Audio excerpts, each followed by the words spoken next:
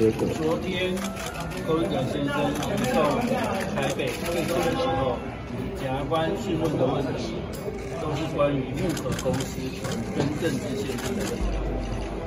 但是检察官讯问完之后，因为柯文哲主席表示他拒绝夜间询问，所以检察官就当庭预知逮捕。那检察官逮捕的理由是因为柯文哲主席涉犯金华城图利罪行，预知逮捕。也就是说，检察官是问 A 案，但是用 B 案进行逮捕。那对于台北地院的裁定，我们会考量审慎提起抗告。谢谢。谢谢。进行侦讯，但是我们也会考量进行抗告。他现在身体情况跟心情状况还好吗？他在庭上是不是有蛮凶的这样？好，老